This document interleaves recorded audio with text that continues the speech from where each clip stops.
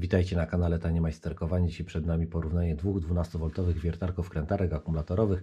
Jedna to wiertarko-wkrętarka firmy Parkside dostępna w Lidlu, a tutaj z kolei po prawej stronie dostępna w Biedronce wiertarko-wkrętarka firmy Niteo Tools. Zapraszam. Urządzenie firmy Parkside było już omawiane na naszym kanale kilka odcinków temu, także jemu dzisiaj poświęcimy troszeczkę mniej czasu. Natomiast w głównej mierze skupimy się na firmie Niteo Tools. Główną, a być może dla niektórych użytkowników najbardziej istotną różnicą jest kwestia ceny. W przypadku zestawu z Lidla Mówię tutaj o zestawie, ponieważ wiertarko-wkrętarka sprzedawana jest osobno, a osobno musimy dokupić sobie baterię, jak i ładowarkę. Ta cena kształtuje się na poziomie 158 zł za całość. Tutaj mamy kompletny zestaw i w tym przypadku ta cena wynosi 129 zł. Także teoretycznie pierwszy plus mamy dla firmy Niteo, ponieważ to urządzenie jest tańsze. Na dodatek w zestawie mamy również komplet wierteł i bitów. Tutaj w przypadku Parkside'a tego nie ma. Ale cena to nie wszystko, przypatrzmy się dalej parametrom technicznym. W przypadku firmy Niteo mamy 24 miesiące gwarancji, w przypadku Parkside'a 3 lata. Moment obrotowy. Parkside 28 Nm, Niteo 24 Nm. Czyli tutaj plus dla Parkside'a, przynajmniej teoretyczny, bo ich faktyczną moc będziemy sprawdzać podczas y, testu. Obroty. Dwa biegi, na pierwszym biegu od 0 do 350 obrotów na minutę, na drugim od 0 do 1300. Z kolei Niteo pierwszy bieg od 0 do 400, drugi od 0 do 1500. Czyli tutaj plus dla firmy Niteo. Teraz skupmy się na uchwytach wiertarskich. W przypadku Parkside'a od 0,8 do 10 mm i dokładnie tak samo w przypadku y, firmy Niteo też od 0,8 do 10 mm, jeżeli chodzi o średnicę wiertła. Ale w rodzaju tego uchwytu, jak i jego możliwościach kryje się według mnie główna różnica w jakości tych urządzeń, czemu przyjrzymy się za chwilę, gdy już rozpakujemy walizki. Obie walizki podobnej jakości, na całe szczęście firma Niteo zrezygnowała już z tych idiotycznych okienek, przez które później te urządzenia po prostu z nich wypadały. Tak y, wygląda w środku zestaw Niteo, a tak wygląda zestaw y, Parkside. Jako mały plus dla firmy Niteo można potraktować fakt, że tutaj tę wiertarko-wkrętarkę wsadzamy swobodnie, nawet założonym dłuższym bitem, natomiast wiertarko-wkrętarkę firmy Parkside, aby zamknąć tej walistę, musimy pozbawić jakiegokolwiek wystającego elementu, nawet krótkiego bitu. Jeżeli chodzi o ładowarki, to jedna i druga posiada takie charakterystyczne trójkątne wejście, odpowiednie dla swoich baterii, teoretycznie tych samych rozmiarów, aczkolwiek uprzedzając już pytanie, nie da się tych baterii ani ładowarek stosować zamiennie, ponieważ tutaj te piny zasilające są rozlokowane w zupełnie inny sposób.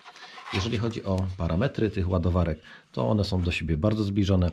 Ładowarka firmy Parkside ma 50 W mocy, prąd wyjścia 2,4 A i czas ładowania takiej 2 Ah baterii wynosi w okolicach 60 minut. Podobnie w przypadku ładowarki firmy Niteo, również czas ładowania będzie wynosił w okolicach 1 godziny, natomiast mocy mamy 45 W, a prąd wyjścia jest troszeczkę wyższy, wynosi 2,5 A. Firma Niteo do swojego zestawu dorzuca nam jeszcze komplet wierteł i bitów. Wiertła w rozmiarach od 0,8 do 9 mm, wykonane ze stali HSS szybkotnącej, natomiast zestaw bitów obejmuje dwie końcówki SL, czyli proste, dwie PZ, dwie PH, dwa torksy i przedłużkę magnetyczną. Jak przystało przed pojedynkiem należy zważyć przeciwników, ja jeszcze tylko zwrócę uwagę na fakt, że obie wiertarko-wkrętarki stają stabilnie na swoich nogach, nie przewracają się, także nie zażywały żadnych środków dopingujących, a mówię to tak trochę żartobliwie, ale generalnie nie polecam stawiania tak tych wiertarków krętarek, ponieważ zarówno, zarówno jedną, jak i drugą łatwo przewrócić, a później porysować sobie obrabianą powierzchnię. Zaczniemy od, od ważenia wiertarki Niteo. Ona waży 972 gramy, a z kolei Parkside będzie chyba odrobinę cięższy, z tego co pamiętam. Tak, waży 1018 gramów. Pod względem gabarytów te urządzenia są praktycznie takie same. W zasadzie nie ma jakichkolwiek różnic, jeżeli chodzi o długość, wysokość czy też e, grubość.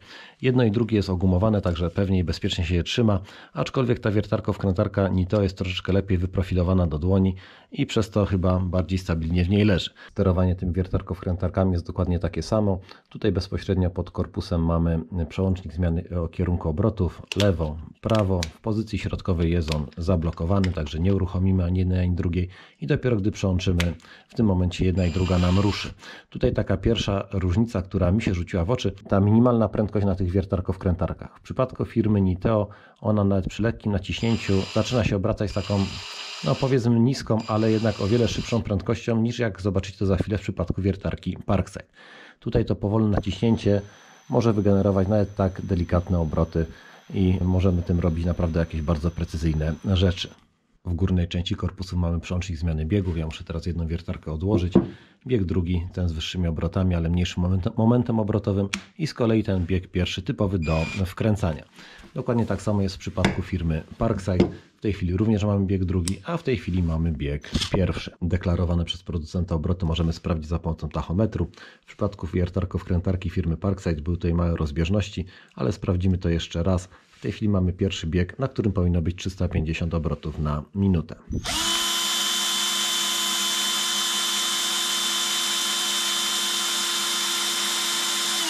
Zaraz odczytamy i maksymalna wartość, jaka była tutaj zarejestrowana, wynosiła 318 obrotów na minutę.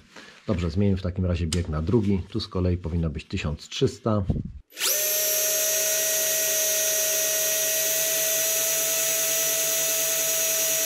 I tutaj z kolei maksymalna wartość wynosiła 1157. Także zdecydowanie mniej w stosunku do tego, co deklarował producent. Ok, czas na Niteo, pierwszy bieg.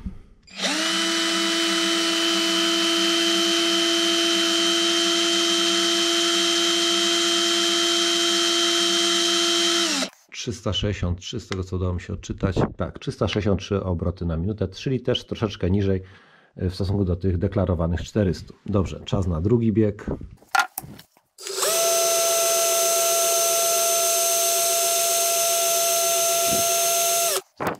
1359 obrotów na minutę, czyli też różnica w stosunku do tego, co deklarował nam producent, aczkolwiek mimo wszystko ta wiertarka firmy y, Niteo Tools ma wyższą prędkość obrotową w stosunku do tego Parkside'a. U dołu chwytu mam oświetlenie diodą LED.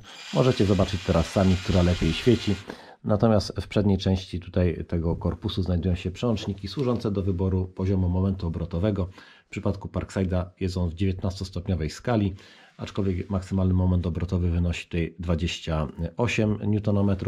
Tutaj mamy 24 Nm i podzielone na 21 stopni. W jednym i w drugim przypadku ostatnim przełożeniem jest tryb y, odpowiedzialny za wiercenie. Tak jak wspomniałem na początku, główna różnica w jakości tych urządzeń to różnica w jakości futerek, czy jak ktoś woli bardziej oficjalną nazwę, uchwytów wiertarskich. W przypadku firmy Nito mamy tutaj najprostsze plastikowe futerko zamontowane na stałe i w przypadku jego awarii tutaj musielibyśmy odkręcić tą śrubę i wymienić je na nowe.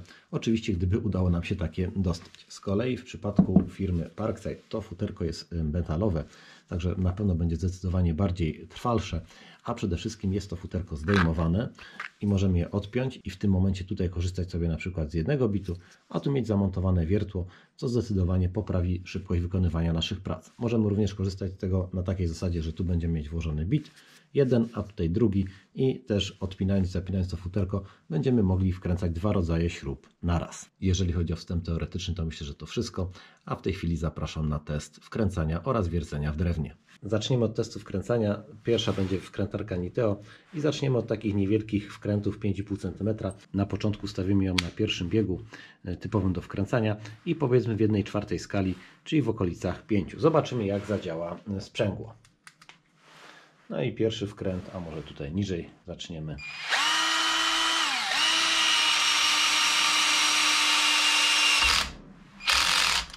Pierwszy wkręt na tej piątce został wkręcony do końca. Y, zobaczmy w takim razie, czy na niższym przełożeniu y, w ogóle nam się zatrzyma ta wkrętarka przy wkręcaniu takiego wkręta.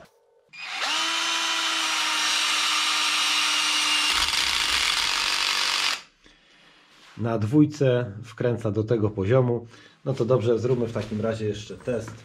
Zobaczymy jak wkręca na jakimś wyższym poziomie typu 13.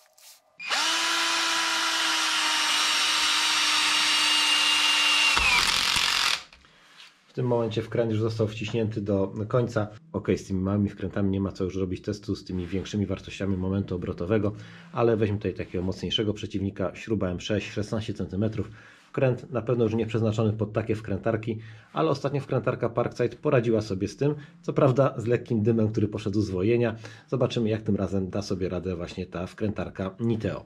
Tutaj już ustawimy na maksymalny moment obrotowy, aczkolwiek ograniczony sprzęgłem 21. No i zobaczymy jak to w tej chwili nam uda się wkręcić.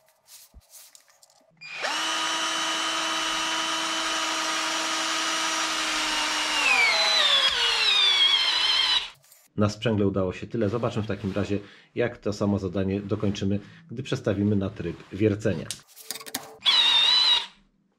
No i tutaj ta wiertarka nam staje. Dociąga jeszcze troszkę, aczkolwiek znowuż staje. Tutaj widać, że niestety dla niej jest już to za ciężkie zadanie. Czy w takim razie firma Parkside znowuż sobie poradzi z tym wkrętem? To zobaczymy za chwilę, ale zaczniemy po raz kolejny od tych wkrętów małych. Ok, w takim razie mamy na placu boju Parkside'a również te małe 5,5 cm wkręty. Pierwszy bieg i tutaj ustawione na 5, czyli też mniej więcej 1 czwarta skali. I zaczynamy. Będziemy tutaj w podobnych miejscach to wkręcać. Aha, ten pierwszy na tej piątce był w tym miejscu wkręcony. Dobrze.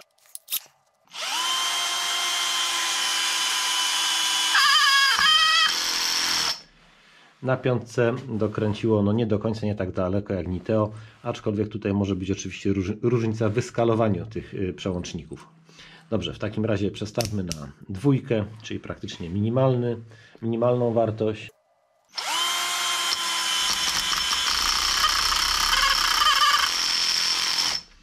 Również troszeczkę gorszy wynik w stosunku do tego Niteo. I teraz weźmy na tam było 13, no to tutaj też dajmy 13, co prawda tam jest 21, tu 19, no to może 12 będzie bardziej odpowiednie.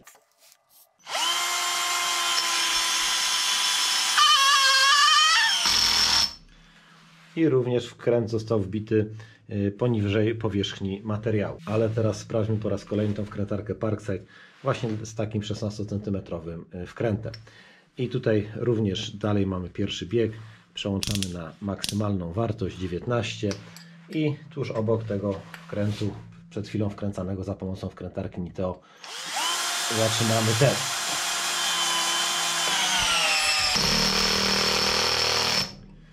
Tutaj sprzęgło odmówiło nam posłuszeństwa już troszeczkę wcześniej, a teraz y, zobaczymy jak zadziała nam na trybie wiercenia.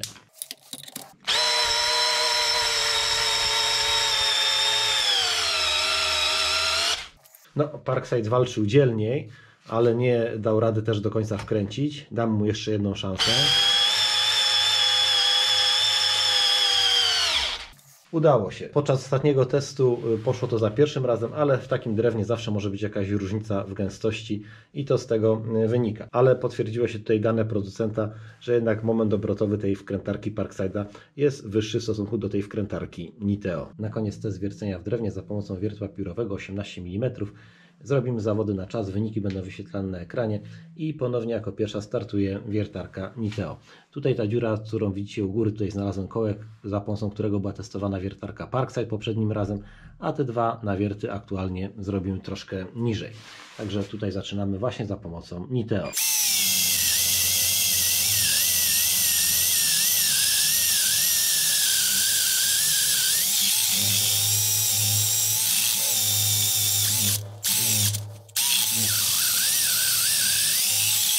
Na początku szło bardzo dobrze, aczkolwiek tutaj w pewnym momencie ta wiertarka zaczęła y, stawać. Nie wiem dlaczego. No zobaczymy jak teraz troszkę niżej poradzi sobie Parkside. To samo wiertło 18 mm i tryb wiercenia. Tak samo była ustawiona ta wiertarko-wkrętarka Niteo. Też drugi bieg i też tryb wiercenia. Dobra, zaczynamy. O, nie ta strona.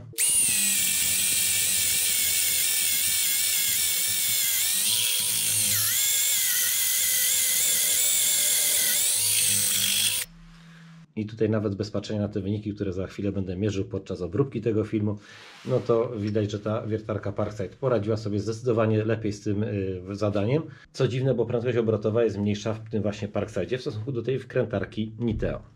A wiertło było dokładnie to samo. Reasumując, według mnie, mimo bardziej atrakcyjnego zestawu i bardziej atrakcyjnej sceny, warto wydać troszeczkę więcej i kupić sobie tą wiertarko-wkrętarkę firmy Parkside.